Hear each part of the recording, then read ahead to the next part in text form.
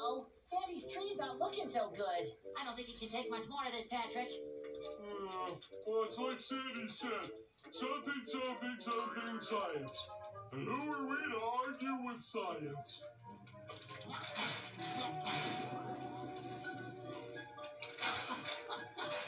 Oh no, the nut stopped. Hold on, I got this.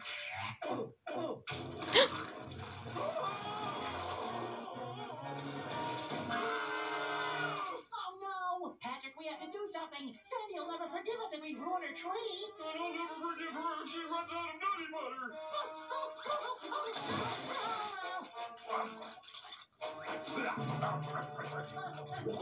Please,